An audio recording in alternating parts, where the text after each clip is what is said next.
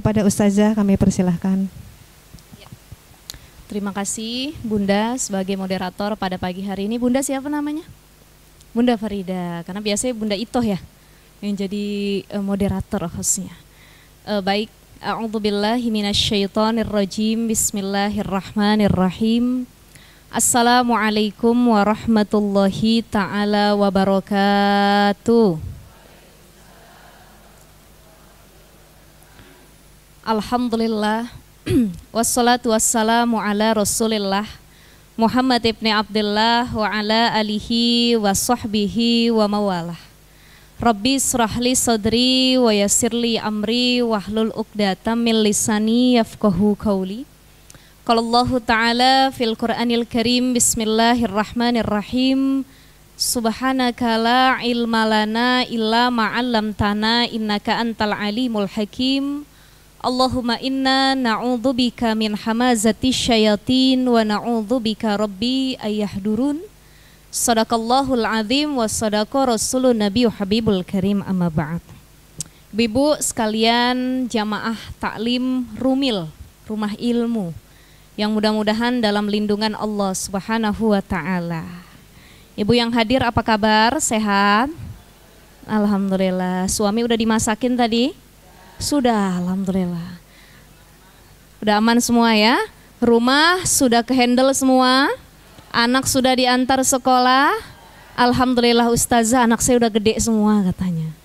Ya, ya kalau nggak nganter anak nganter cucu minimal. Kalau urusan rumah tangga sudah kelar, izin suami sudah dihaturkan, kita datang ke majelis ilmu, ini salah satu hal yang insya Allah memberi banyak faedah buat hidup kita. Karena orang-orang yang mulia di sisi Allah salah satunya adalah orang yang terus mau belajar. Makanya saya punya bio dalam hidup saya. Itu hidup untuk belajar dan terus mengambil pelajaran. Ya, sama siapa pun kita belajar, Bu. Sama yang kecil kita belajar, sama yang tua kita belajar, bahkan kepada binatang sekalipun ada pelajaran yang bisa kita petik pentingnya untuk terus belajar di waktu apa pun ya. Walaupun sudah jadi ulama sekali ber apa pun itu ada tugas utama untuk tetap belajar ya. Makanya kun aliman jadilah kamu orang yang alim. Nggak bisa ustazah. Nggak mampu saya jadi orang alim. Nggak mampu saya jadi guru au muta'aliman kalau nggak mampu kita jadi orang alim minimal jadi orang yang suka sama orang-orang alim yang cinta sama guru, yang suka datang ke majelis ilmu, yang rajin datang taklim au muta'alliman. Gak bisa juga datang. Karena orang-orang kalau biasa datang ke pengajian minimal dia bawa catatan, dia bawa pulpen. Tapi zaman sekarang lebih canggih lagi nyatetnya di handphone, di notesnya. Oh datang gak nyatet, cuman jadi mustamian au mustamian itu juga orang yang mulia nyatet nggak bisa, ngedenger nggak bisa, datang ke majelis ilmu nggak bisa karena ada e, banyak halangan misalnya karena sakit lah, ngurusin anak dan lain sebagainya. Minimal dia jadi aumuhibban, orang yang cinta sama belajar. Cinta sama ulama, saya nggak bisa datang ketemu ulama, saya nggak bisa datang ke majelis taklim, tapi saya cinta kalau ngelihat ulama mana pun. Saya cinta sama orang-orang yang belajar, saya cinta sama orang-orang yang datang ke majelis taklim. Ini empat golongan yang harus ada sama kita. Aliman, orang alim. Muta'aliman, orang yang demen ngaji. Nggak demen ngaji nih, tapi demennya ngedenger doang. Kalau bahasa kita masuk kuping kanan, keluar kuping kiri. Jiping, ngaji kuping. Ya rata-rata kita begitu kan Bu ya. Ngajinya ngaji kuping. Ini mustami'an, nggak bisa jadi begini karena banyak halangan au muhibban jadi orang yang cinta sama orang-orang yang ngaji. Ini kata Rasul jadilah empat hal tersebut tapi jangan jadi yang kelima. Apa yang kelima? Enggak jadi golongan satu pun dari yang empat.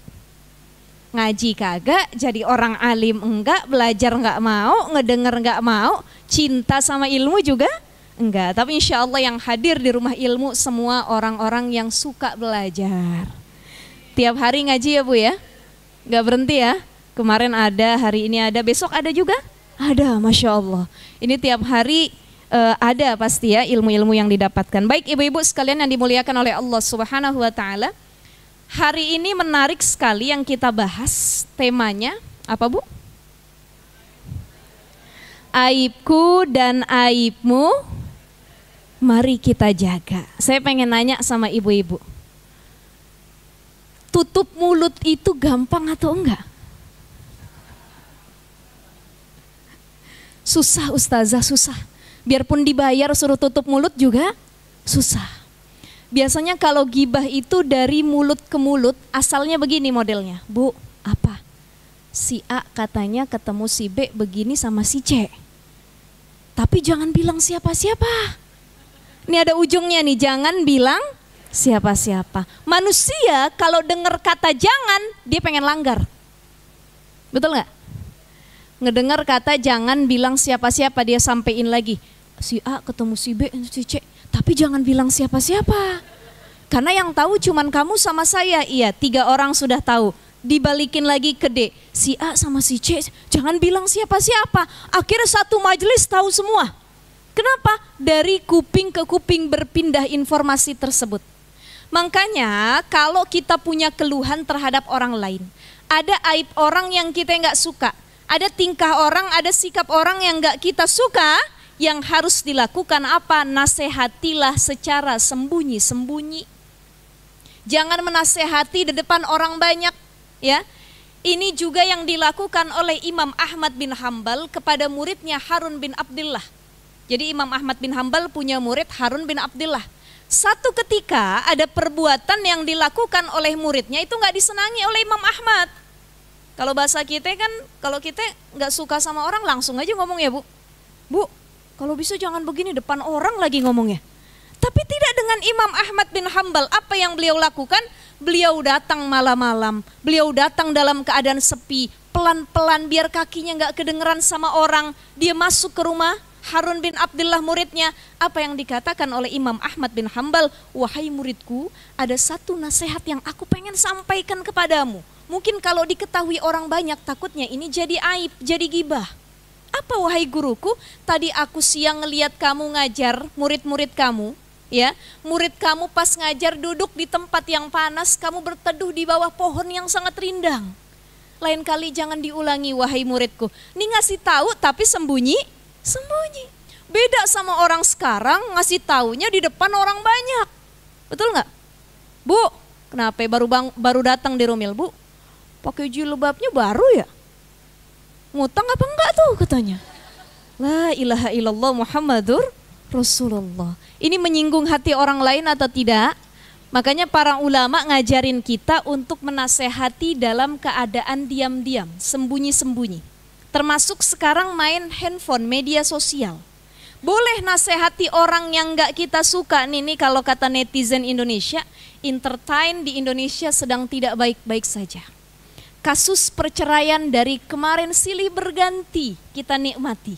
Dari mulai si A dengan suaminya, ganti lagi si B dengan suaminya. Ibu-ibu gara-gara ngelihat gosip, ghibah yang ada di TikTok, Instagram, media sosial dan lain sebagainya, seminggu nggak mau masakin suami.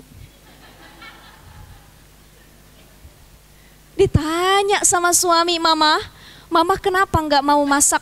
Mama lagi galau pah mikirin para artis yang bercerai akhir-akhir ini.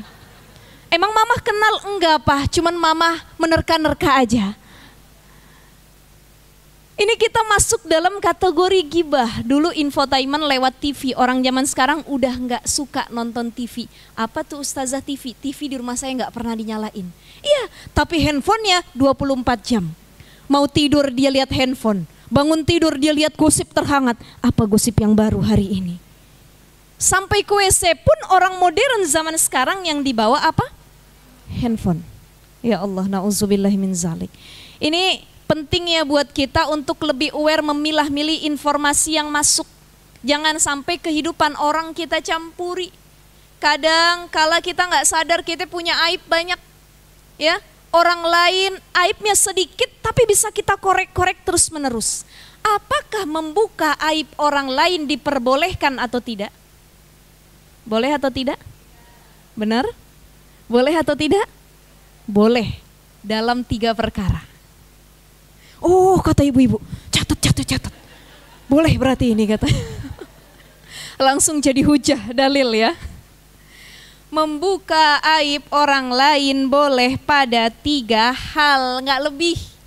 Apa itu ibu-ibu? Yang pertama, dalam pengadilan mahkamah syariah memutuskan satu hukum. Contoh, ada maling ayam, ada maling handphone, ada perampok rumah, ditangkap polisi, dibawa ke pengadilan, ditanya sama sohibul baitnya, sama pemilik rumahnya, Bu, benar tidak ini yang maling rumah ibu? Bagaimana ciri-cirinya, apa yang dia lakukan, bagaimana sikapnya, tolong sampaikan. Sampaikan, boleh. Jangan gara-gara kita orangnya, ya Allah hati-hati bener nih gak mau gibah.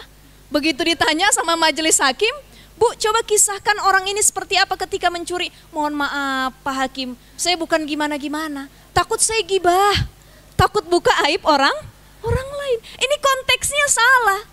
Kalau dalam mahkamah syariah, dalam memutuskan satu hukum perkara diperbolehkan. Jadi pengadilan itu kan ada pengadilan perdata, ada pengadilan pidana, ya baik yang kasus kriminalitas dan lain sebagainya, ada pengadilan perdata, misalkan kasus waris, perceraian, hadona, hak asuh anak dan lain sebagainya.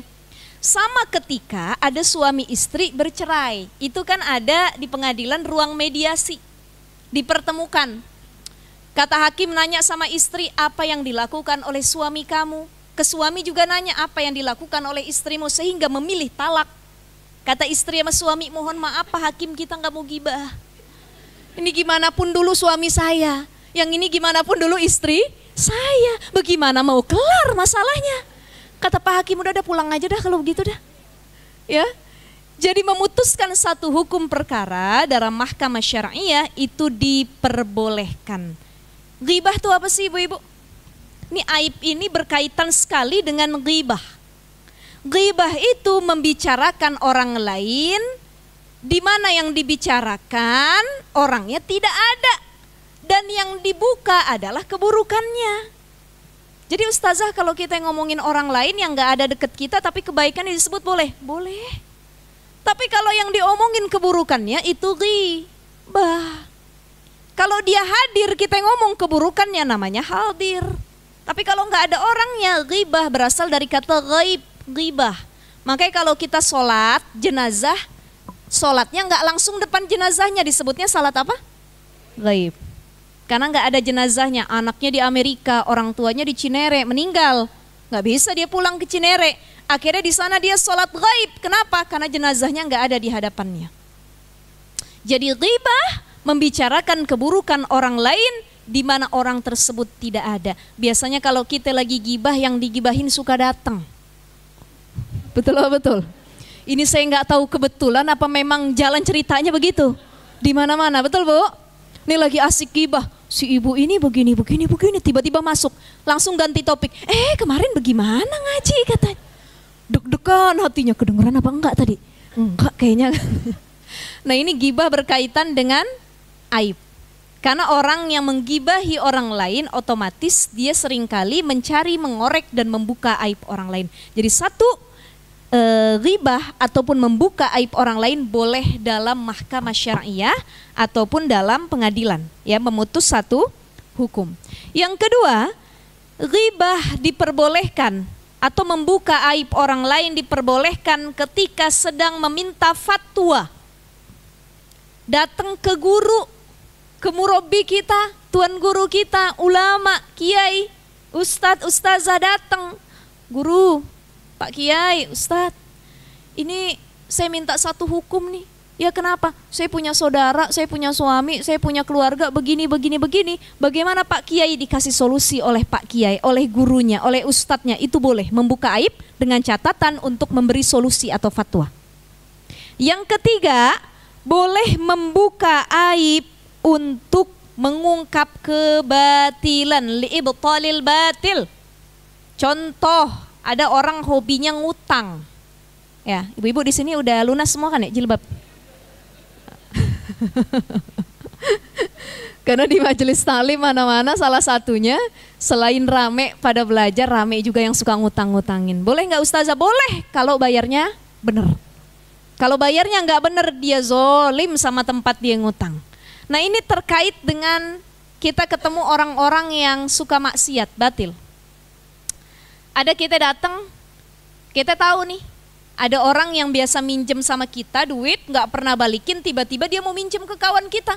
Kita datang ke rumah kawan kita, ini kalau si A nanti minjem duit sama kamu, jangan dikasih. Jangan, kenapa? Ini orang kalau ngutang nggak pernah bayar. Itu buka aib apa enggak?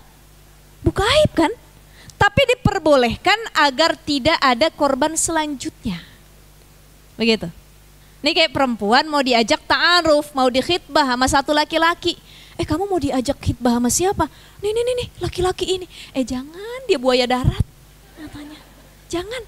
Saya dulu korban yang untung kagak jadi. Ya, Alhamdulillah, Alhamdulillah kalau bisa jangan pilih yang lain. Ini membuka kebatilan, mengungkapkan satu kebatilan agar orang lain tidak menjadi korbannya, diperbolehkan membuka aib tersebut. Tapi dalam perkara yang lain enggak boleh. Apalagi yang dibuka aib pasangan sendiri. Bu, ibu, kalau lagi ngumpul sama teman ngomongin suami sendiri asik apa enggak?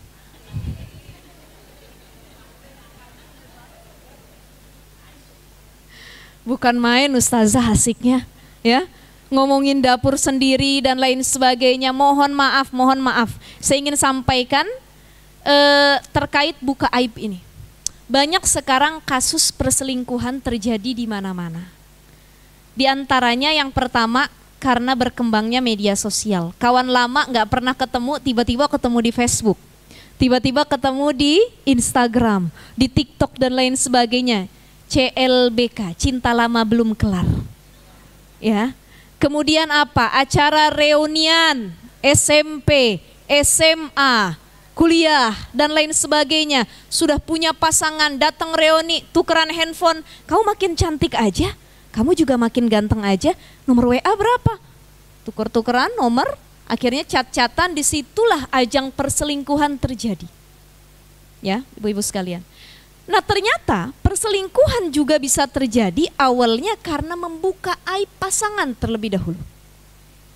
Makanya salah satunya, kalau kita punya pasangan, mau itu aib pasangan kita ataupun kelebihan pasangan kita jangan diumbar jor-joran. Contoh ibu punya laki ganteng kalah Lemin Hosong Jongki apa semua kalah. Yang paling ganteng suami ibu. Ya. Punya suami ganteng Tiap hari diupload di WA, dibikin status, makanan kesukaan suami saya adalah jengkol dan sayur kangkung. Suami saya kalau mau tidur aktivitasnya ini. Kalau pagi begini, kalau siang begini, warna favoritnya ini, suami saya tidak pernah membentak istri, ngasih uang belanja sehari 15 juta, ABCD dan lain sebagainya, diceritakan dalam status caption yang panjang di berbagai platform yang dia punya, perempuan-perempuan lain yang melihatnya dengki apa enggak? Iri nggak? Enak bener punya suami kayak gitu. Saya boro-boro diajak belanja sama suami, dikasih uang, dikasih duit 30 ribu buat kerimbat di salon aja nggak pernah. Katanya. Akhirnya timbul iri dengki terhadap caption, status, postingan orang lain, ada rasa untuk memiliki. Makanya banyak kasus perselingkuhan, selingkuhannya adalah teman sendiri. Karena apa? Kita jor-joran posting di publik kelebihan pasangan. Oh berarti kekurangannya boleh ustazah biar kagak ada yang suka. Kekurangannya juga enggak boleh. Apalagi perkara dapur dulu ada di zaman Rasulullah Shallallahu Alaihi Wasallam. Satu perempuan yang luar biasa, saya lupa namanya Umu apa, saya lupa ya. Ini dulu di zaman Nabi pun sama kayak zaman sekarang, ibu-ibu demen hobi ngumpul kalau udah bikin perkumpulan itu ngebahas hidupnya masing-masing. Padahal temanya arisan dan kajian. Arisan dan kajiannya cuma satu jam, gosipnya bisa tiga jam. Ya, saling buka aib dan lain sebagainya. Itu ada di zaman Rasul 12 perempuan yang suka bikin perkumpulan. Dari perempuan yang pertama ngomongin, oh suami saya itu kalau di rumah begini-begini. Perempuan yang kedua ngomongin juga sampai yang ke-11 mereka buka aib suaminya. Sampai aib yang paling mohon maaf tidak boleh diumbar harusnya. Perkara dapur dan kamar. Itu kan nggak boleh diumbar sama sekali, ya. Ada perempuan yang ke-12 ini, Ummu siapa? Saya lupa namanya. Itu dia nggak pernah buka aib pasangannya. Kadang kita kalau lagi ngegosip bingung, pengen pergi nih teman-teman kita, nggak ikut gosip dibilang sombong dan lain sebagainya serba salah nggak? Serba salah ya. Maka kalau demikian cukup bicara yang singkat saja. Sebagaimana sahabiat yang di zaman Rasulullah SAW ini. Dia bercerita, suami saya alhamdulillah baik, tidak ada kejelekan apa pun. Ya kalaupun ada kekurangan wajar dia manusia. Sampai situ saja. Tidak berlebihan berceritanya. Jadi jangan sampai membuka aib dan jangan sampai memuji berlebihan. Eh suami kamu ganteng ya Alhamdulillah tiap malam nih kalau suami saya tidur saya pandang terus. Dia bangun tidur saya pandang. Oh kalau saya enggak kata yang satu lagi. Saya kalau suami saya lagi tidur saya sumpahin kenapa mudah-mudahan jangan bangun lagi katanya. La ilaha illallah Muhammadur Rasulullah. Jadi hati-hati membuka kehidupan pribadi aib kita kepada orang lain. Maka ibu-ibu sekalian yang dimuliakan oleh Allah Subhanahu wa taala, aib itu terbagi dua. Al-aibu kismani. Aib itu terbagi dua. Ada yang disebut dengan aib uh, khalqiyah. Aib khalqiyah. Ya, khalqiyah. Jadi aib khalqiyah ini adalah aib yang bersifat kodrati, physically. Dari bawaan lahir. Mohon maaf, ada orang matanya model begini, ada orang rambutnya model begini, ada orang badannya seperti ini, itu kodrat itu. Dari semenjak lahir fisiknya begitu, itu aib dari bawaan lahir. Ya, model aib yang pertama. Ada model aib yang kedua, yaitu aib khulqiyah, khuluqiyah. Aib yang berkaitan dengan perbuatan. Jadi ada yang fisik, ada yang perbuatan. Nah termasuk begini, kan tadi ada tiga yang e, diperbolehkan ya kita membicarakan orang lain atau membuka aibnya. Sama halnya, andai kata begini, kalau yang kita buka aibnya tuh fisiknya, misalkan contoh, ibu punya teman daerah Cinere, ya dikasih alamat sama teman ibu, bu nanti pulang pengajian dari Rumil mampir ke rumah saya. Di mana bu alamatnya? Jalan Sukun nomor sekian. Dicari-cari, nggak ketemu. Kemudian kita nanya sama orang sekitar, kenal nggak yang namanya Bu ini? Bu ini ada banyak di komplek ini, ya. Seperti apa ibu itu? Oh ibu itu wajahnya begini, kulitnya uh, lumayan putih, rambutnya juga mulai memutih katanya. Matanya sipit dan lain sebagainya, itu kan fisik orang lain yang kita bicarakan. Boleh, boleh, tapi bermaksudnya bukan untuk membicarakan aib orang lain. Lebih kepada e, bertanya, mencari kebenaran kan begitu ya bu ya? Kita punya teman-teman yang mana? Oh itu yang badannya lumayan lebih besar dibanding yang satu dan lain sebagainya. Boleh, tapi kalau bisa cari bahasa yang lebih tepat lagi ketika membicarakan aib orang lain. Jadi ada aib e, kodrati, khalqiyah, ada aib khulqiyah, khuluqiyah ya atau aib yang berkaitan dengan perbuatan yang dilakukan oleh manusia. Ada satu ayat Bismillahirrahmanirrahim dalam surah Al-Hujurat ayat 12 Bismillahirrahmanirrahim. Ya ayyuhalladzina amanu jtanibu katsiran minadh-dhanni inna ba'dadh-dhanni ismun. Wahai orang-orang yang beriman jangan suka suuzon sama orang Suuzon akhirnya melahirkan ghibah, membuka aib orang lain dan lain sebagainya. Ayat ini turun berkenaan dengan kisah sahabat Rasul namanya Salman Al-Farisi. Ya. Jadi Salman Al-Farisi, sahabat Rasul ini punya kebiasaan, Bu. Apa kebiasaannya? Beliau itu kalau selesai makan langsung tidur. Kita juga begitu ya, Bu ya. Betul nggak? Habis makan langsung tidur. Kemudian tidurnya mendengkur, ngorok dan akhirnya jadi pembicaraan buah bibir di kalangan para sahabat. Tahu nggak Salman Al Farisi itu kalau abis makan tuh tidur katanya. Cek orang Sunda nama pelor, asal nempel molor gitu ya. Kemudian lagi uh, kalau sudah tidur ngorok, ngoroknya besar. Satu RT ngedenger kata itu ngorok dan lain sebagainya. Dijadikan bahan gosip, dijadikan gibah dan di sinilah diperingati oleh Rasulullah Shallallahu Alaihi Wasallam dengan ayat surah Al-Hujurat ayat 12 tadi. Ya, maka diharamkan, dilarang kita membuka aib orang lain dan lebih hati-hati untuk tidak mengumbar aib itu kepada siapa pun. Jadi kalau kita tahu cukup kita simpan dalam diri sendiri ya.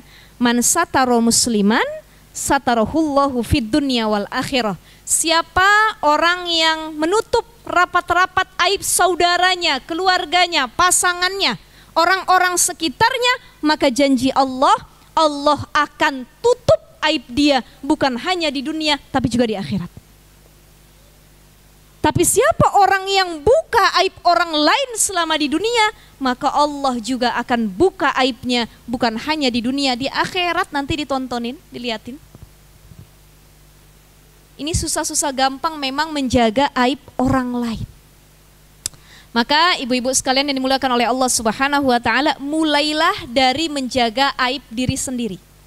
Kalau kita sudah mampu menjaga aib diri sendiri, kita akan lebih mudah menjaga aib orang lain. Zaman sekarang gara-gara media sosial orang hobi ngumbar aibnya. Ngumbar masa lalunya. Ada itu Bu di TikTok. Sekarang lagi rame. Dia bikin berslide-slide. Cerita dari mulai kawin sampai cerai sampai kawin lagi. Diceritain semua ada? Ada. Dari mulai dia bertobat, dia hijrah, sampai dia nakal lagi, ada. Ini membuka aibnya sendiri di media sosial banyak, dia nggak malu, nggak malah senang biar viral. Jadi orang zaman sekarang yang dikejar viral. Betul nggak? FYP, terserah dah mau gimana pun yang penting buka aib. Lagi rame sekarang perseteruan artis sama mantan suaminya. Buka aib nggak usah disebut merek. Apal bener ibu. ya bu ya betul ya, lagi rame ya. Buka aib yang sebenarnya rumah tangganya udah lama, pernikahannya sudah lama, tapi saling membuka aibnya masing-masing. Sampai masalah ranjang, masalah yang seharusnya nggak diketahui, tapi akhirnya diketahui oleh publik. Nih dosa, haram. Padahal Allah sudah tegaskan dalam Al-Quran, Bismillahirrahmanirrahim, Hunna libasul lakum wa antum libasul lahun. Istri pakaian buat suami. Suami pakaian buat istri. Bagaimana menjadi pakaian yang baik? Apa makna pakaian dalam Al-Quran? Tiga. Satu, pakaian itu bermakna sitrul aurah. Menutup aib menutup aurat, menutup keburukan yang ada pada diri kita maupun pasangan kita. Jadi istri yang soliha adalah istri yang mampu menutup rapat-rapat aib yang dimiliki oleh suaminya. Jangan dikit-dikit bikin status. Aduh, masya Allah punya laki bakhil kayak Abu Sufyan katanya. ya, mau ngaji ke Rumil boro-boro dikasih jajan dianterin juga enggak katanya dan lain sebagainya hati-hati membuka aib dan keburukan pasangan sendiri terus gimana ustazah pendem aja bu ngadunya langsung sama Allah tapi saya nggak tahan ustazah cuman ngadu sama Allah sakitnya tuh di sini perih ustazah ngadunya ke mana tadi boleh ngadu sama guru sama ahli ilmu sama orang ketiga yang dirasa bisa ngasih solusi. Jadi kalau punya permasalahan rumah tangga, ini jadi reminder buat saya yang berbicara, buat ibu-ibu yang mendengarkan ataupun yang sekarang sedang mengikuti kajian secara online. Kalau kita lagi berantem sama suami, jangan coba-coba curhat sama lawan jenis. Tuh ya Bu ya. Tadi ketemu teman Reoni. Wah asik nih teman Reoni dulu cinta lama belum kelar ya kita punya masalah curhat, curhat, curhat, itulah yang mengundang perselingkuhan akhirnya. Maka curhatlah dengan sesama jenis perempuan, tapi jangan sembarangan orang. Ada orang yang kalau kita curhat dia ember, nggak bisa tutup mulut. Maka curhatlah kepada orang yang amanah, kepada orang yang mampu menutup aib kita rapat-rapat dan orang yang bijaksana menerima curhat kita. Ada kawan bu, temen yang kalau kita curhat makin jadi kompor. Betul apa betul? Kita berantem sama suami masalah sepele. Shh, suami gue begini-gini nih. Gue bilang apa dulu jangan kawin sama dia. Masih diterusin juga katanya. Kan jadi kompor ini. Ya, makanya penting sekali untuk tidak sembarangan mengumbar aib, curhat kepada siapa pun terutama di media sosial. Ini ngerinya media sosial. Yang komen itu bukan hanya orang yang kenal, tapi yang nggak kenal sama kita pun ikut berkomentar terkait hidup kita. Ya, akhirnya panas, berantem, cerai orang gara-gara dia salah curhat dan tidak tepat tempat curhatnya. Maka curhatlah kepada orang alim, curhatlah kepada orang yang bijaksana, curhatlah kepada orang-orang yang bisa menjadi penengah fa in khiftum syiqaqa bainihima fab'atsu hakaman min ahlihi wa hakaman min ahliha. Kalau terjadi syikok, perpecahan, pertikaian, pertengkaran dalam rumah tangga yang harus jadi orang ketiga adalah orang yang dianggap bisa melerai, orang yang paling bijaksana. Mau itu dari golongan si perempuan, mau itu dari pihak laki-laki, silahkan siapa pun. Oh saya biasa curhat sama orang tua ustazah, boleh saja. Tapi juga kalau curhat sama orang tua jangan sampai bikin orang tua kita benci sama pasangan. Ada orang nikah berantem, dia pulang ke rumah orang tuanya. Mah, suami saya A, B, C, D, E, F, G. Emaknya sampai kesel. Udah nggak usah dijadiin suami yang begitu dan lain sebagainya. Lima hari kemudian dijemput suaminya, dia pelukan lagi. Dia bikin status lagi, dia gandengan lagi. Kata emaknya udah nggak berantem. Enggak mah jadi orang tua yang kesel, anaknya sayang-sayangan lagi. Ya, termasuk ini curhat sama kawan, curhat sama kawan. Dinyinyirin nanti bisa, kemarin lu curhat sama gue, besokannya upload status holiday, staycation, healing bersama. Katanya. Jadi kemarin tuh air mata buaya atau gimana kata kawannya. Ini kadang-kadang curhat kita ke sembarang tempat yang bikin runyam rumah tangga kita. Makanya makna pakaian dalam Al-Quran yang pertama adalah sitrul aurah, menutup aurat. Nih, ibu-ibu pakai pakaian datang ke rumil. Pakai pakaian. Niatnya apa bu pakai pakaian? Menutup aurat.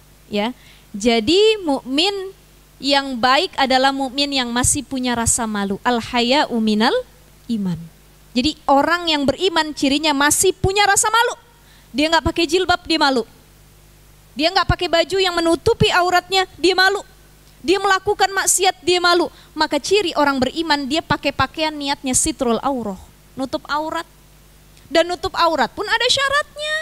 Tidak boleh menjiplak, tidak boleh pakaiannya itu transparan, ya, tidak boleh mengundang syahwat dan lain sebagainya. Jadi ada syarat dalam menutup aurat, nggak asal pakai baju doang. Maka fungsi pakaian sitrul aurah, menutup aurat dengan sebaik mungkin, itulah juga fungsi suami kepada istri ataupun istri kepada suami. Masing-masing jadi pakaian suami nutupin aibnya istri, istri nutup aibnya suami. Jangan ketika kita menemukan celah dan aib dari pasangan malah kita pengen pisah. Ada orang baru nikah sebulan pengen cerai. Dulu saya punya saudara. Ini jadi pelajaran ibroh buat kita semua. Nikahnya ta'aruf perkenalan ya perkenalan cuman dalam waktu berapa minggu langsung akad nikah begitu sebulan baru nikah istrinya dipulangin ke rumah orang tuanya begitu usut punya usut kita ngadain pertemuan keluarga kan dimediasi ditanya masalahnya apa kok baru nikah satu bulan udah dipulangin ke rumah orang tuanya masalahnya katanya gara-gara kulit istrinya tidak sesuai ekspektasi Allahu Akbar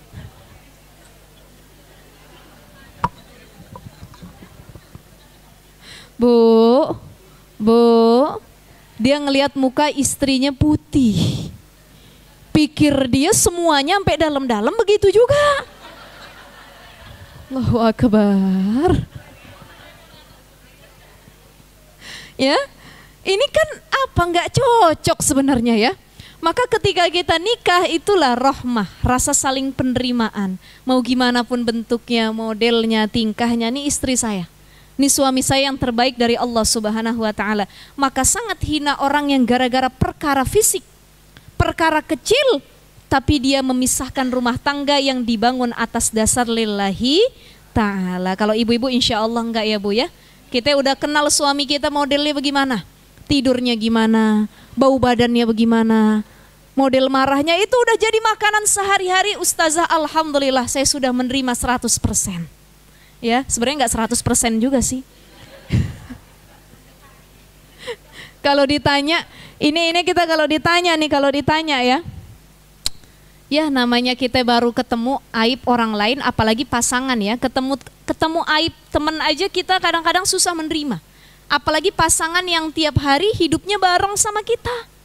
Kan nggak bisa ganti orang tuh bu. Betul nggak? Ya pernikahan itu kan nggak kayak taaruf ya. Kalau kita nggak cocok ya udah deh diakhirin taarufnya taaruf sama yang lain enggak. Gara-gara nggak cocok ya udah cerai aja deh pengen cari yang lain. Pengen cari yang begini nggak bisa Pernikahan itu adalah bagaimana kita mampu 100% menerima. Menerima di sini bukan maksudnya memaklumi ya, tapi mengikhlaskan apa pun yang kita miliki. Kita hobi ngedrakor, nonton opa-opa Korea. Boleh nggak ustazah? Ahli ngaji juga tapi ahli drakor juga. Boleh aja kalau sekedar hiburan. Tapi kalau nonton drakor akhirnya jadi halu luar biasa, itu yang nggak boleh.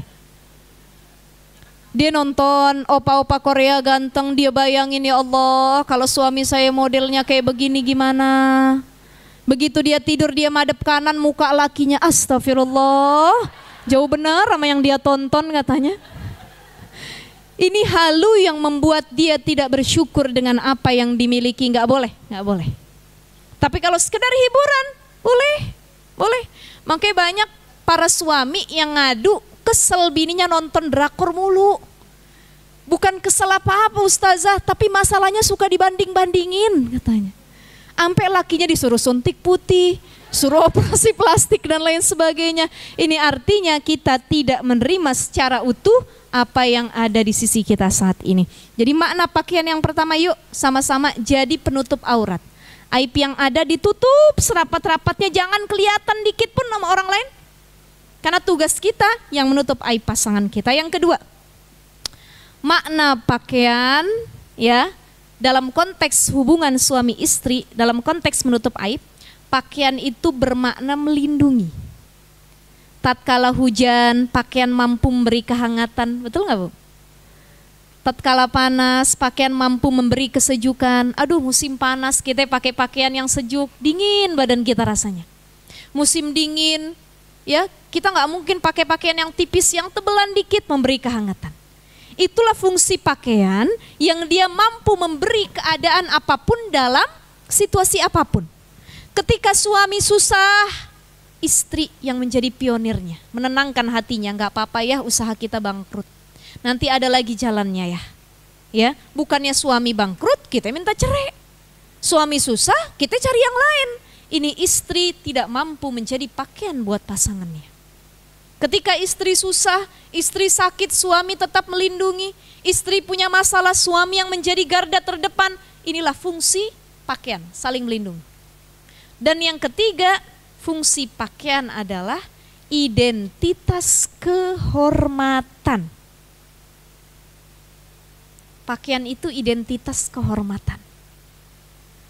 Perempuan-perempuan yang menutup auratnya sebaik mungkin. Ini dia sedang menjaga kehormatannya, betul apa enggak?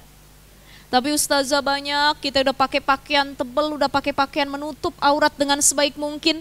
Masih juga digodain sama laki-laki. Bukan kita yang salah, berarti hati tersebut yang ada penyakitnya. Karena pakaian menjadi identitas kehormatan. Bagaimana kehormatan seorang muslimah lihat dari pakaiannya. Ada baju-baju kehormatan, baju-baju dinas. Kita lihat nih, contoh baju PNS. Saya sebut merek nih ya Bu ya. Karena kalau orang-orang kampung, satu kebanggaan kalau punya mantu PNS.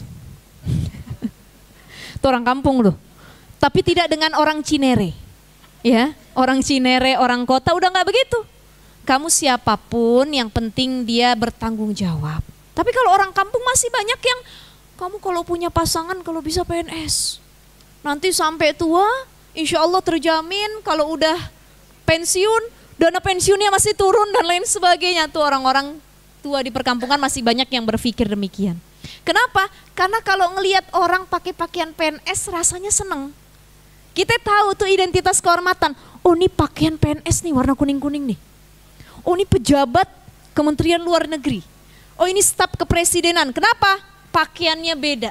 Identitas kehormatan. Begitulah suami dengan istri. Kita harus jadi pakaian yang menjadi identitas kehormatan untuk pasangan kita. Ya. Bukan malah membuka aib satu sama lain. Ibu-ibu sekalian ingat tidak dengan hadisul ifki? Kisah Aisyah radhiyallahu anha yang pernah difitnah dia selingkuh berzinah dengan sahabat yang lain. Pernah dengar? Ketika pulang peperangan, Aisyah tersesat ketinggalan oleh kaum Islam, kaum Muslim. Paling belakang ternyata ada sahabat yang ya dia paling belakang juga. Dia ngelihat wah ini kok Aisyah ada di sini. Kenapa nggak ikut dengan rombongan depan? Ternyata kesesat, ketinggalan.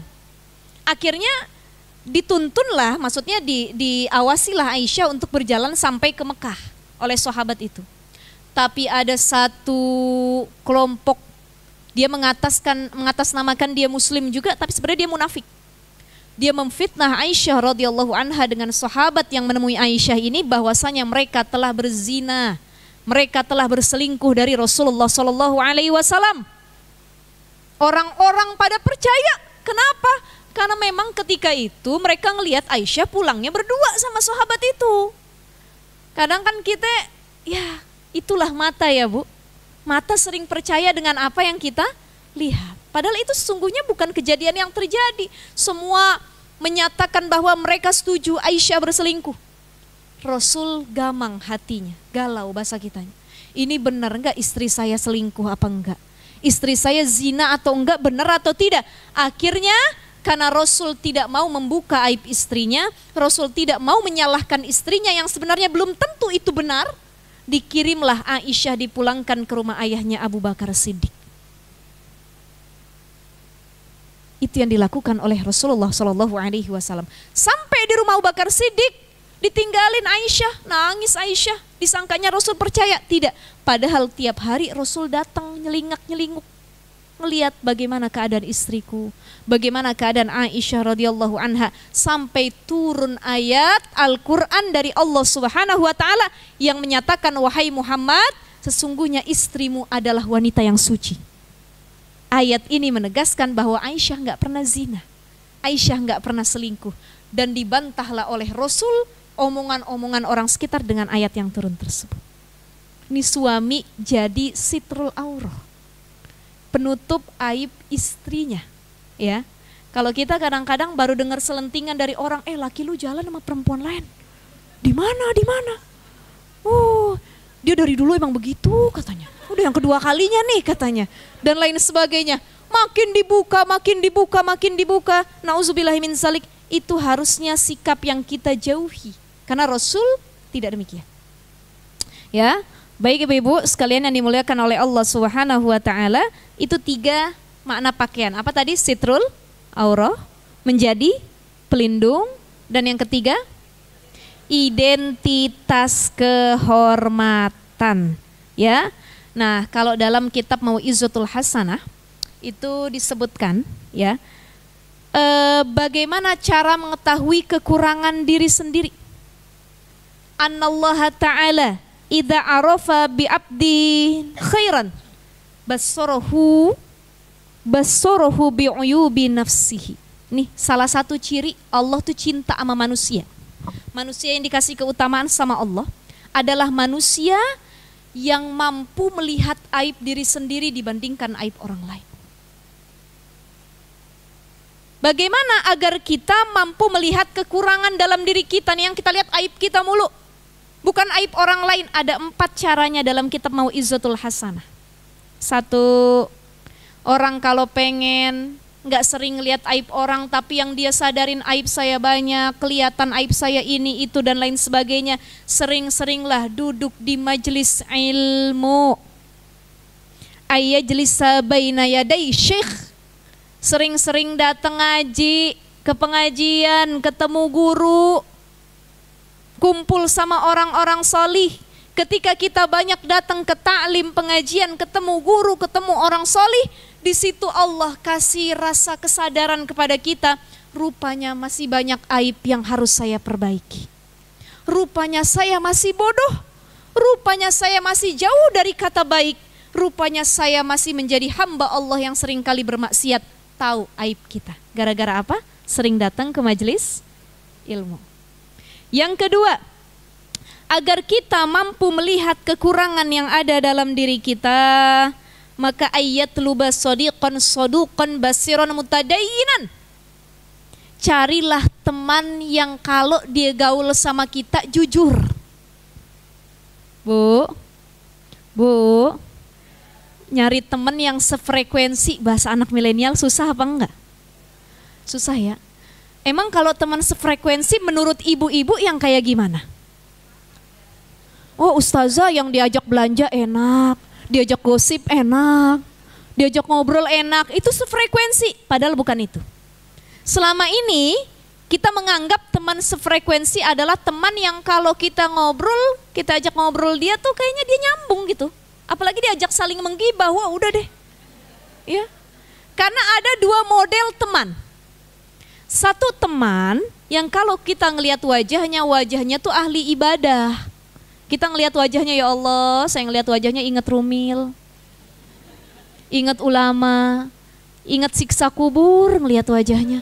Kenapa? Ahli sholat, ahli zikir. Ingat surga, ingat neraka. Kenapa? Karena kalau ngelihat wajahnya ketemu orangnya yang keluar dari lisannya adalah kebaikan, nasihat dan lain sebagainya. Ini teman yang ngajak kebaikan. Ada model kedua, teman yang kalau dia datang ngelihat mukanya aja udah nggak sabar kita pengen maksiat. Ini baru datang nih, masuk pintu. Aduh, gosip terbaru apa ini? Udah nggak sabar nih datang dia nih, gitu ya. Masa kita ya, masuk jadi wajahnya sudah menyimpan banyak pertanyaan kira-kira berita informasi terbaru apa yang akan disampaikan. Itu. Itu teman yang suka ngajak keburukan. Makanya nyari teman ibu-ibu sekalian yang jujur. Jujur ini adalah yang di depan ngomongnya A, di belakang ngomong A juga. Karena ada teman yang di depan ngomong A, di belakang ngomong B. Kita tanya nih datang ke pengajian, Bu, saya bagus nggak bu pakai jilbab ini? Ih bagusnya, cantiknya, masya Allah, cocok banget, bagus banget ini loh.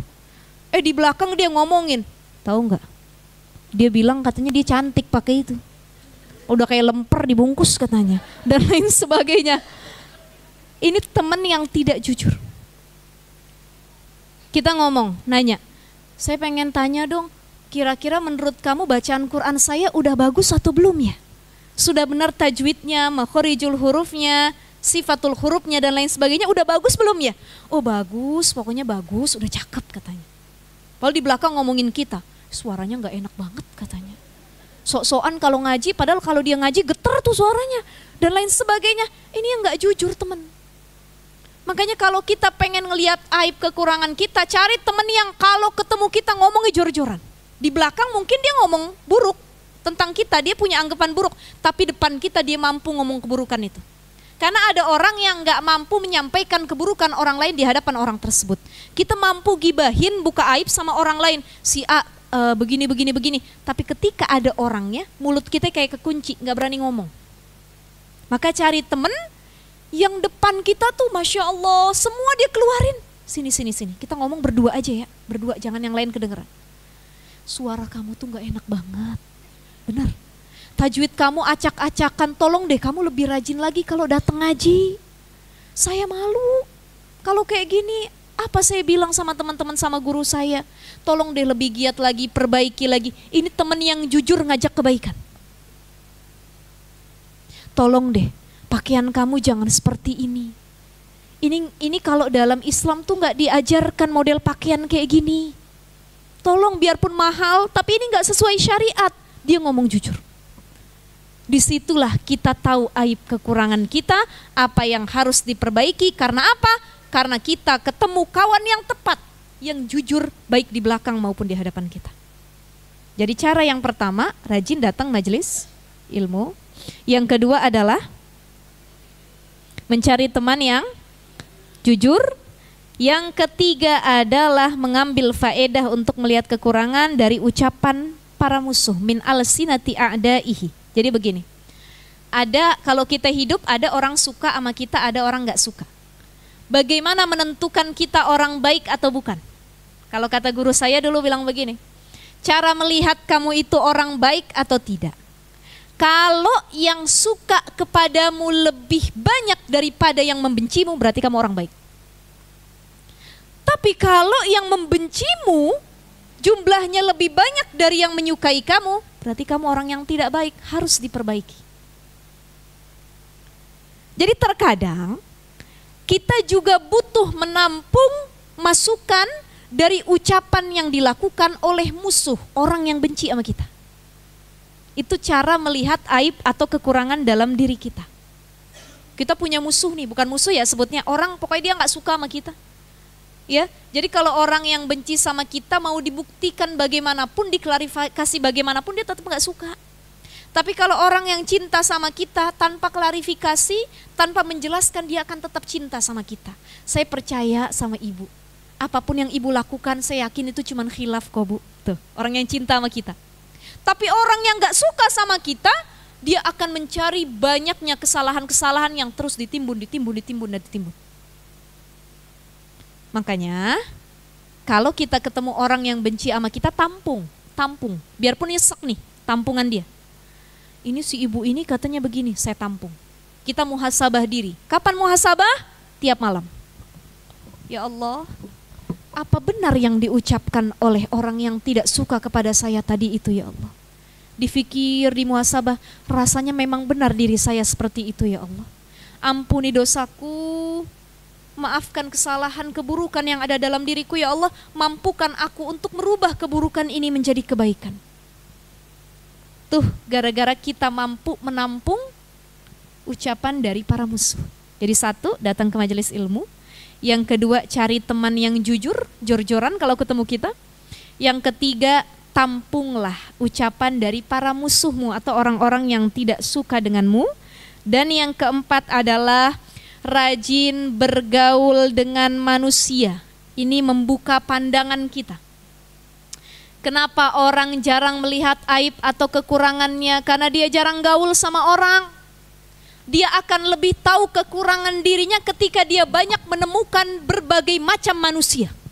Betul nggak?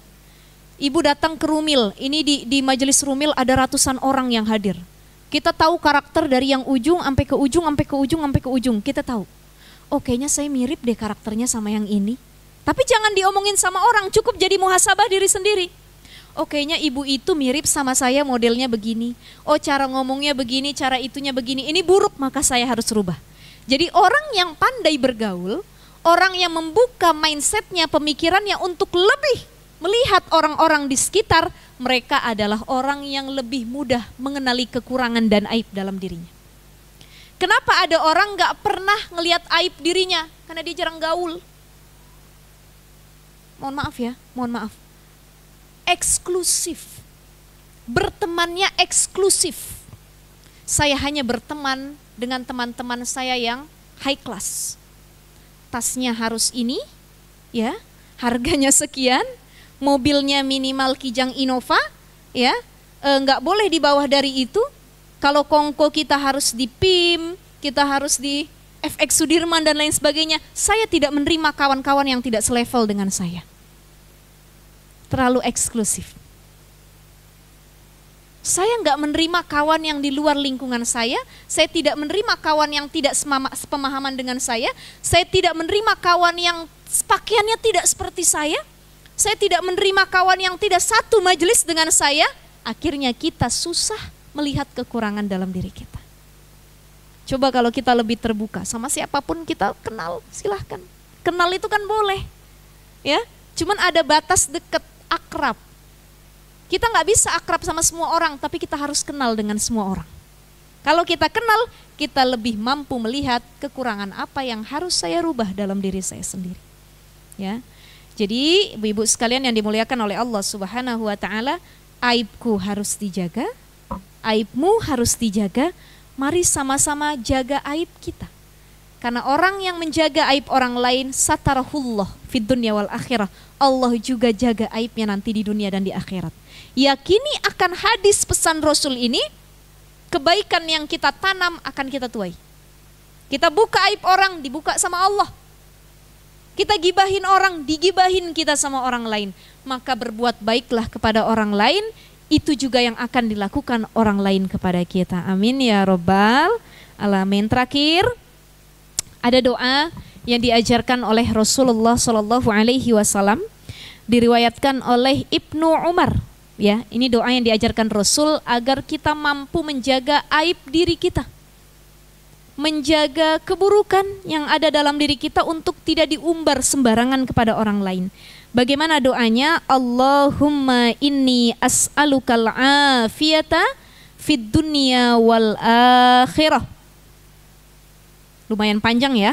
Allahumma inni as'alukal afiyata fid dunya wal akhirah. Lanjutannya Allahumma inni as'alukal afwa wal afiyata fid dini wa dunya wa ahli wa mali. Baru doanya Allahumma stur aurati. Ya Allah tutuplah aibku. Allahumma inni as'alukal afiyata fid dunya wal akhirah. Allahumma inni as'alukal afwa wal afiyata fid dini wa dunya wa ahli wa mali. Allahumma astur aurati.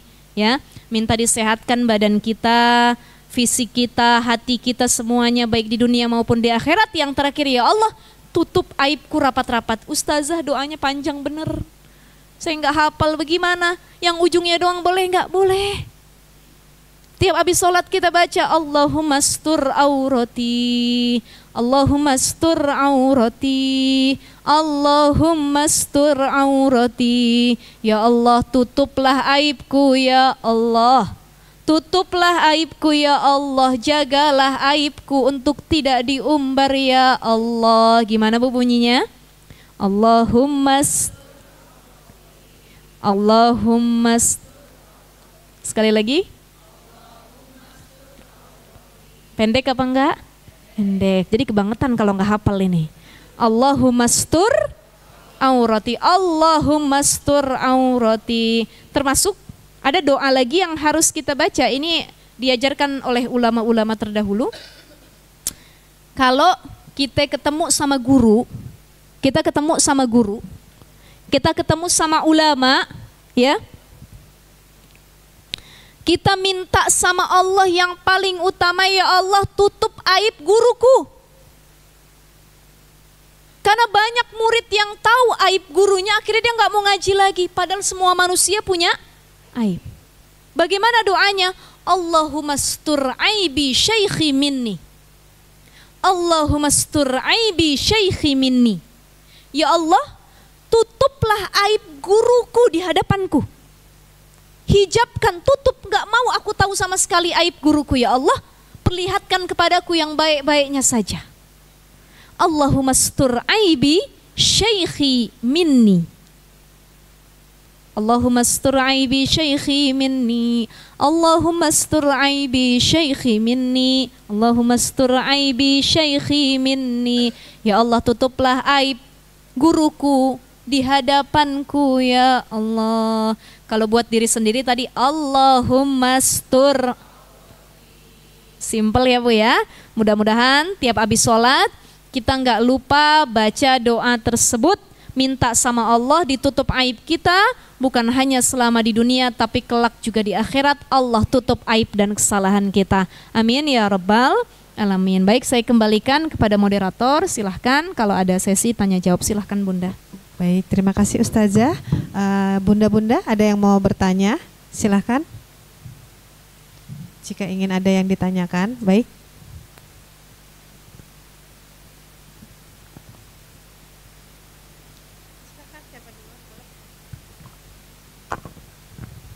Assalamualaikum warahmatullahi wabarakatuh, Ustazah. Waalaikumsalam uh, warahmatullahi yang mau saya tanyakan yang tadi yang terakhir, doa kita minta menutup aurat, eh uh, ditutupin aib kita gitu ya. Nah, yang saya mau tanyakan karena aurat gitu. Kalau yang berdoa belum berhijab, apakah doanya sampai Ustazah? Terima Ya. kasih. Assalamualaikum. Waalaikumsalam warahmatullahi wabarakatuh. Ya. Aurati ini maknanya bukan hanya menutup aurat dengan hijab atau pakaian. Tapi aurat itu juga kekurangan, aib maknanya. Jadi Allahumma mastur aurati yang baca dia udah berhijab ataupun belum berhijab itu hak Allah mengabulkan atau tidak. Ya. Makanya ibu-ibu sekalian yang saya cintai, kita nggak berhak menjudge orang lain. Betul nggak? Berhak nggak menyudutkan orang lain? Ah saya mah udah hijrah pakai jilbab, dia belum pakai jilbab pasti doanya nggak diijabah sama Allah. Kalau saya mah diijabah, kenapa udah nutup aurat? Tidak. Ijabah atau tidaknya doa seorang hamba itu urusan Allah. Tapi makhluk atau muslimah yang sempurna, tatkala dia rajin berdoa untuk menutup aibnya, tapi dia juga istiqomah menutup pakaiannya, auratnya. Jadi ada aurat atau aib yang sifatnya fisik, tadi yang harus ditutupi ya, aurat perempuan. Ada aib yang sifatnya perbuatan. Dalam doa tersebut kita minta sama Allah, ya Allah tutup aibku, baik aib yang terkait dengan fisik maupun yang terkait dengan perbuatan. Ya.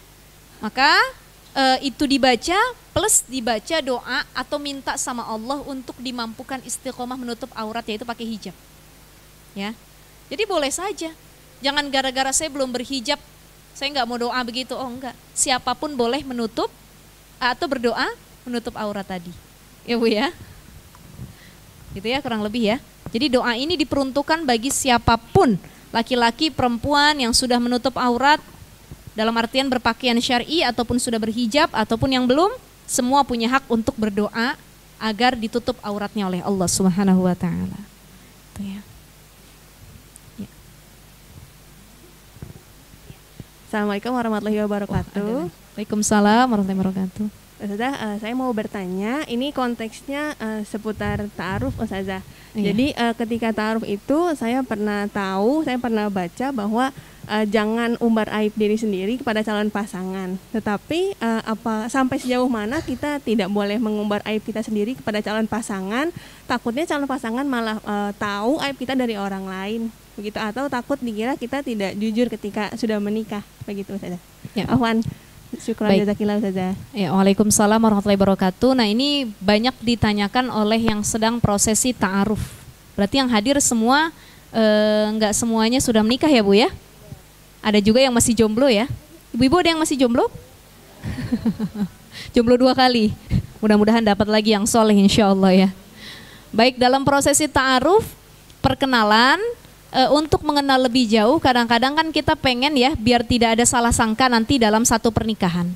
Apakah harus dibuka aib kita untuk menceritakan atau meng, apa ya membayan gitu ya menjelaskan diri kita sedalam-dalamnya kepada calon kita tidak. Kita hari ini berbeda dengan kita hari-hari sebelumnya. Dia memilih kita karena dia melihat kita hari ini, bukan hari yang sebelumnya.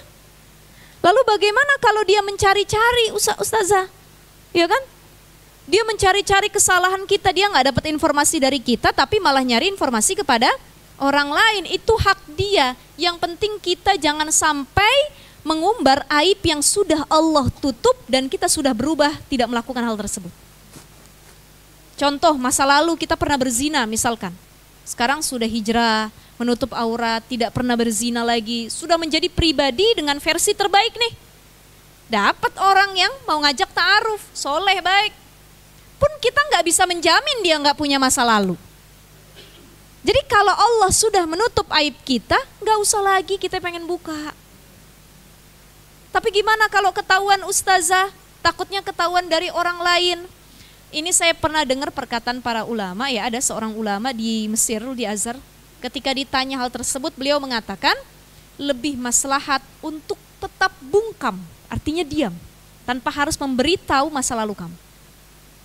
Karena itu masa lalu kamu, bukan masa sekarang kamu. Kata para ulama, begitu. Ya.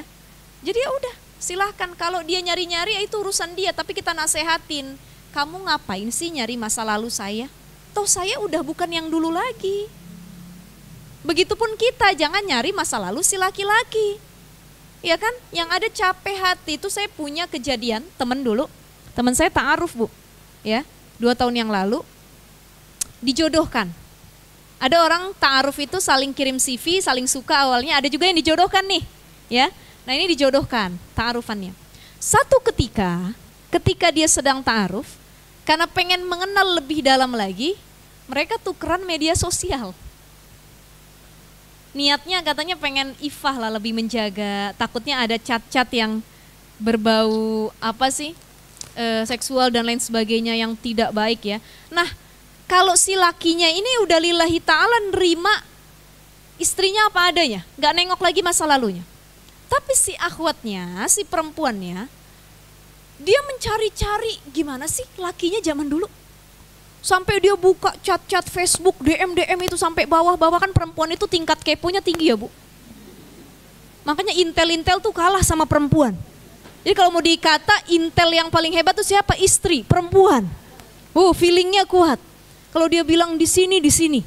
Ya, tahu itu perempuan. Akhirnya dicari, ketemu. Ketemu satu chat yang ternyata, mohon maaf sekali, ini jadi ibroh pelajaran buat kita ya. Itu kan masa lalu orang ya uh, si laki-laki ini dulu pernah masuk dalam satu pergaulan bebas lah. Zaman dulu ya. Dan itu dia pernah kalau bahasa anak sekarang ini mohon maaf sekali uh, dia datang ke tempat-tempat prostitusi. Kalau bahasa anak sekarang open BO katanya. itu anak-anak sekarang bahasanya ya. Jadi kita harus tahu istilah anak sekarang, Bu. Jangan sampai anak kita cat-catan sama kawannya kita bilang apa sih? BO nih apa? Oh, dikirain kita open bakso apa-apa gitu kan. Karena orang tuanya nggak gaul, nggak tahu. Ini harus tahu juga istilah anak-anak milenial zaman sekarang jangan sampai kita tertipu. Ternyata dulu, dulu sebelum suaminya berhijrah, suaminya pernah melakukan hal demikian. Akhirnya dipermasalahkan, dipermasalahkan sampai mau tes HIV dan lain sebagainya. Ya, istrinya, eh, ceweknya minta tes HIV, laki-lakinya minta tes keperawanan akhirnya kan jadi problem nih keduanya ya jadi kalau kita mau nikah kita merasa dia baik dan kita kita pun yakin pasti dia punya masa lalu. Setiap orang punya masa lalu apa pun itu ya. Sealim alimnya orang hari ini dia punya masa lalu. Tapi ya udah di skip aja. Saya nggak mau tahu ya Allah masa lalunya. Biarkan itu e, menjadi masa lalu yang tidak akan terulang. Saya akan menerima dia hari ini. Dan ke depannya dia adalah masa depan saya. Ya Bu ya. Jadi masa lalu biarlah milik dia, masa depan milik kita bersama. Kita yang membangun masa depan ini gitu. Sudah gitu aja. Jadi nggak usah kita cari-cari kepo dan berusaha tutup aib kita sebaik mungkin. Ya, kurang lebihnya seperti itu. Wallahu a'lam bishawab. Ada lagi? Bu Ibu? Assalamualaikum Bu Ustadz. Bentar ya. Oh. Ya, silahkan. Uh, saya mau menanyakan, itu kan ada uh, ajaran dalam Islam diajarkan kalau misalkan kita gibah orang lain nanti pahala kita pindah ke orang itu yang pindah. iya salur ke orang yang, yang kita bicara mu? Pahala Mukulis. kita. Kepala oh pahala. Pahala kita. Saya dengarnya kepala kita pindah ke dia tadi. Iya. kepala. Iya yang iya. saya mau tanyakan Bu Ustadz uh, kalau misalkan yang kita bicarakan itu orang non muslim apakah pahala kita pindah juga ke dia? Kan kita beda keyakinan sama dia. Ya begitu Ustaz. baik.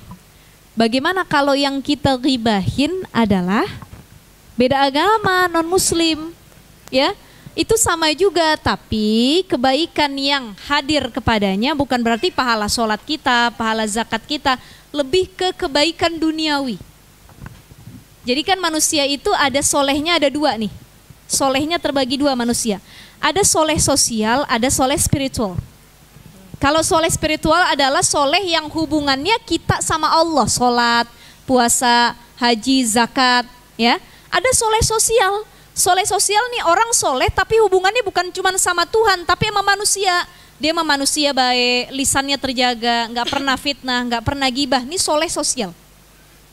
Nah, ketika kita ngomongin kawan kita, pahala kita kan berpindah betul. Bahkan ketika gibahin kawan kita, seolah-olah kita lagi makan bangke saudara kita sendiri.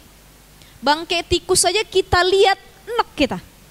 Gimana bangke kawan kita sendiri kita makan? Itu perumpamaan orang yang menggibahkan orang lain. Lalu bagaimana kalau yang digibahin non muslim pun kebaikannya diambil sama dia, tapi kebaikan secara sosial atau hal duniawi saja. Bukan maksudnya kita udah dijamin masuk surga, kita gibahin dia, surga kita pindah ke dia. Itu urusan Allah ya. Paling tidak, paling tidak kebaikan yang sudah kita tanam dalam membantu sesama itu Allah beri buat dia. Kebaikannya. Entah rizki dia lebih banyak, entah hubungan dia dengan pasangan lebih baik, ya. Itu kan hak seluruh makhluk ya, manusia ya, walaupun beda agama. Tapi ada yang soleh spiritual, hubungannya langsung sama Allah. Nah itu nggak pindah sama dia. Tapi kalau itu yang kita omongin sesama mukmin sama muslim, amal soleh yang pernah kita lakukan, baik itu amal soleh e, hubungan sosial maupun amal yang berkaitan dengan Allah, itu dipindahin buat orang yang kita gibahin. Jadi kalau pengen dapat pahala, jadi orang yang sering digibahin. Pahala banyak nih, pengen dapat pahala banyak ya, ya udah deh saya sabar aja digibahin. Kenapa? Pahala dia pindah sama saya pindah terus. Kita tarik terus tuh pahala ya kan? Terus kalau pengen pahala kita sia-sia rajin-rajin gibahin orang. Tuh datang ke majelis taklim sia-sia. Kenapa? Pulang majelis taklim gibahin orang. Hilang amalnya semua pahalanya. Ya? Maka bijaklah kita dalam bersosialisasi baik itu hubungannya dengan manusia ataupun hubungannya dengan Allah. Karena kalau kita bikin dosa sama Allah, minta ampunnya sama Allah doang. Tapi kalau kita ghibah, fitnah, ini dosanya bukan cuma sama Allah, tapi sama manusia juga. Makanya kalau dalam kitab Riyadus Solihin, ciri taubat yang sebaik-baiknya adalah satu, dia taubatan nasuha, bukan taubat sambel. Benar-benar taubat nasuha, benar-benar, gak diulang-ulang yang kedua dia minta ampun sama Allah. Yang ketiga lisannya gemar mengucap astagfirullahaladzim, astagfirullahaladzim wa tubu ilaik. La ilaha illa anta subhanaka inni kuntu minal zalimin. Rabbana zalamna anfusana wa illam taghfir lana wa tarhamna lanakunanna minal khasirin. Astaghfirullah rabbal baraya, astaghfirullah minal khotoya. Ini lisannya gemar minta ampun sama Allah. Yang keempat, kalau dosanya itu berkaitan sama manusia, tiga ini nggak cukup minta ampun sama Allah, sholat taubat, ya, gemar mengucap e, istighfar, taubatan nasuha, itu cuma sama Allah. Tapi kalau sama makhluk dosanya ditambahin satu lagi, minta maaf sama orang yang disakiti. Jadi kalau pernah fitnah orang langsung datangi, saya minta maaf ya, saya pernah fitnah dulu. Kita gibahin orang itu, mohon maaf dari kemarin saya gibahin terus. Mohon maaf, malu ustazah minta maaf ya nggak apa-apa, itu lebih baik. Jujur, ya mohon maaf kemarin A, B, C, D dan lain sebagainya. Ini cara bertobat ketika kesalahan kita bukan cuma kepada Allah tapi juga kepada makhluknya. Ya, baik ibu-ibu sekalian ada lagi? Assalamualaikum warahmatullahi wabarakatuh. Waalaikumsalam warahmatullahi wabarakatuh. Ustazah saya mau bertanya, ini uh, saya punya tetangga sekaligus juga teman juga dia setiap hari itu membuka aib suaminya tuh ke saya terus mm -hmm. gitu. Jadi dia dari mulai dapur sampai kamar sampai ujung kepala rambut suaminya semua semua tuh, dikasih tahu. Saya semua hampir setiap hari gitu. Dijadiin kan. buku bisa tuh yeah. ya. Iya. Saking banyaknya. kadang tuh saya suka menghindar ustazah takutnya yeah. itu uh, saya jadi kok aibnya suami diomongin ke saya gitu. Saya, dan saya mau bertanya gini Ustaz, apa Ustazah apakah ini saya berdosa mendengarkan aib dia dia suaminya gitu sampai sekarang pun makanya saya suka suka saya matikan tuh handphone supaya nggak ditelepon atau di WA gitu terus yang yang kedua Ustazah kalau kita membuka aib gitu orang aib suami atau apa ya ke mertua atau ke ibu orang tua atau ke kakak ipar itu berdosa atau tidak Ustazah? Membuka aib. Ya. Keluarga besar. Uh, ya. ya. Jazakillah Ustazah.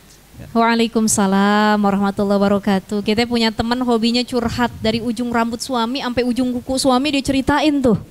Waduh, masya Allah ini ya bu ya. Bisa jadi memang kita adalah orang yang begitu dipercaya. Bisa jadi karena ibu orang baik dan ibu menjaga amanah. Ketika dia cerita sama ibu, oh ibu ini nggak ember nih, nggak nggak nggak nggak bawel ke mana-mana. Dia jaga aib saya sebaik mungkin Jadi dia merasa ibu bisa jadi tempat sandaran curhat, bahkan memberi solusi kadang-kadang. Tetapi kalau kita kebanyakan dengar aib orang juga, kita yang kadang-kadang enek bu, ya pusing sendiri. Saya punya masalah rumah tangga, dia cerita aja masalah rumah tangga dia. Meminimalisir itu lebih baik tadi dengan mematikan handphone.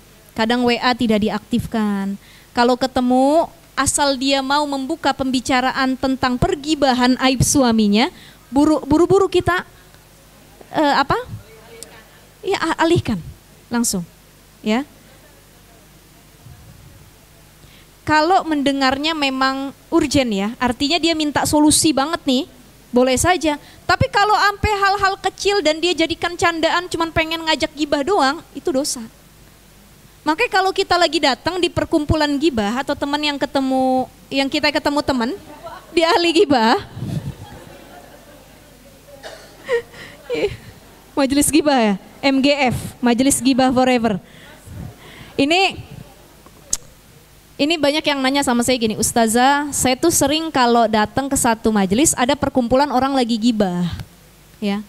Saya mau keluar, saya nggak enak, disangka nggak nggak mau gabung saya kumpul ikut gibah juga. Saya mau pindah tempat duduk nggak enak, udah penuh semua misalkan. Saya duduk di sampingnya, saya nggak ikutan gibah kedengeran di kuping saya, ya. Karena ada orang yang dibilangnya begini, ah saya emang nggak mau ikut gibah dan saya bukan ahli gibah, tapi kalau ada orang gibah dia pura-pura duduk di situ begini. Udah tersimpan semuanya nih, ya tersimpan. Dan akhirnya orang-orang begini adalah orang-orang yang paling banyak informasinya, paling bahaya itu. Dia nggak masuk dalam perkumpulan gibah, tapi dia pura-pura ahli ibadah. Yang sebenarnya dia ahli gibah paling utama. Astagfirullah, nggak boleh gibah. Eh tapi bener loh bu, ini ceritanya bener. Emang kalau bener tuh gimana sih kemarin tuh ceritanya? Saya juga sering dengar tapi saya nggak mau ikut gibah katanya. Mulai mulai masuk dikit dikit dikit gitu ya. Jadi hati-hati membuka aib keluarga apalagi urusan tiga dapur sumur kasur. Uh, masya Allah. Ini banyak nih. Sebenarnya bukan cuma perempuan ya laki-laki pun saya baru baru tahu gitu. Ternyata bapak-bapak pun kalau kumpul itu banyak yang ngomongin istrinya juga. Jadi pembelaan ini ibu-ibu. Sama suami juga begitu bukan saya aja ustazah katanya.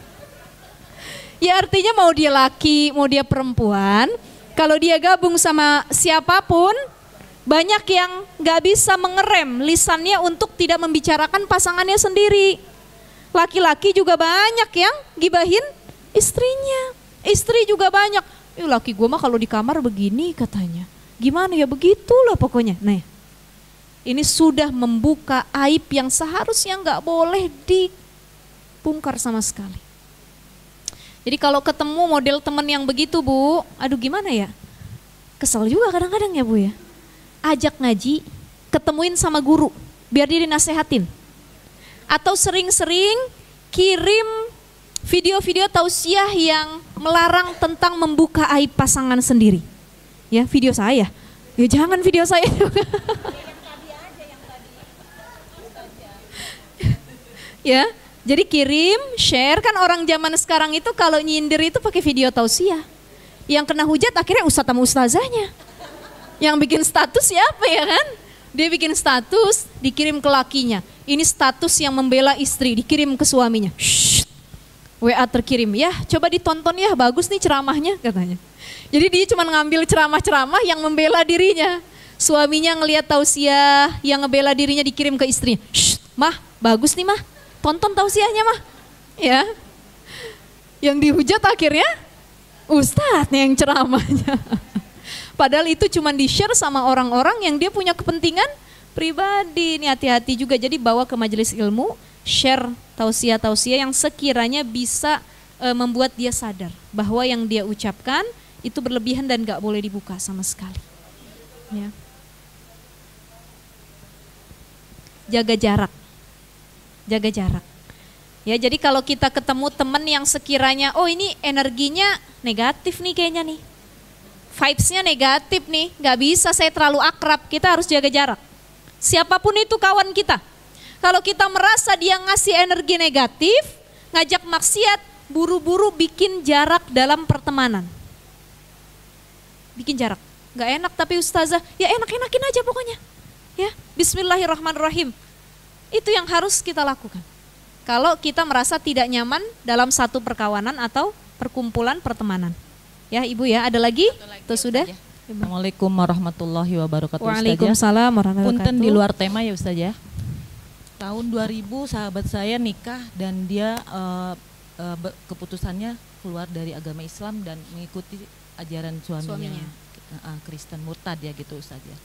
Kodarullah kemarin uh, dari Batam dia terbang ke sini dan tinggal di Cinere saya bertemu kanker payudara stadium 3 Ustaz ya dan Alhamdulillah. keadaannya sudah mengkhawatirkan gitu. Pas saya keinginan saya dalam hati saya ingin berbisik tentang astagfirullah gitu Ustazah mengembalikan dia sebelum kita nggak tahu umur ya Ustazah ya.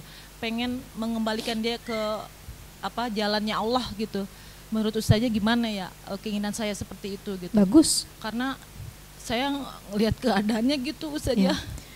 memang dalam Al-Quran kan kita disebutkan ya la ikroha fiddin tidak boleh ada paksaan dalam beragama sekalipun itu saudara kita sendiri kita paksa masuk Islam nggak kalau nggak masuk Islam saya bunuh ya. Masuk Islam nggak? Oh itu nggak boleh.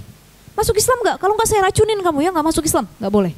Jadi memaksa orang untuk masuk agama kita juga itu tidak boleh, dilarang. La ikrafidin, nggak ada. Karena orang masuk agama itu karena hidayah Allah. Orang balik lagi ke agamanya yang sepula, semula itu karena hidayah Allah. Kita tahu dia murtad. Oke, dicabut nih hidayah sama Allah.